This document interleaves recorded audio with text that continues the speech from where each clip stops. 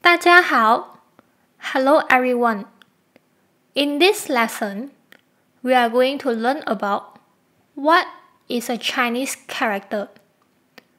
What are the components of a character? And how do you learn to write? First, D I A N 点 点 second h e n g. 横横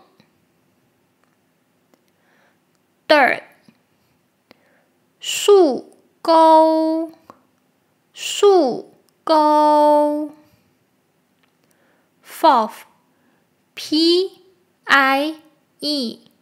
撇撇 Fourth, N A 那那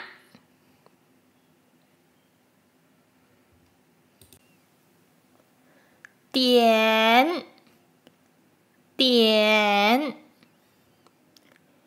横横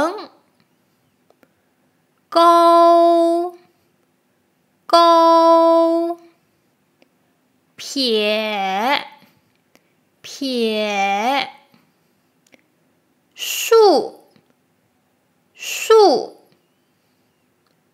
捺捺 Now, let's look at the circle part of the Chinese character. Can you tell me what is the circle part called? 树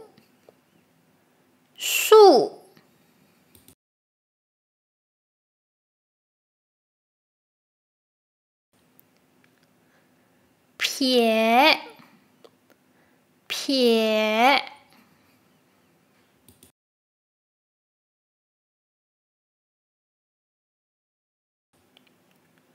竖钩竖钩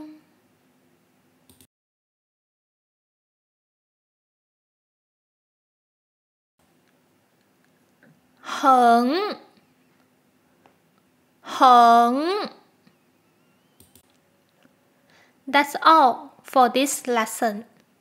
下节课见 which means see you in the next lesson.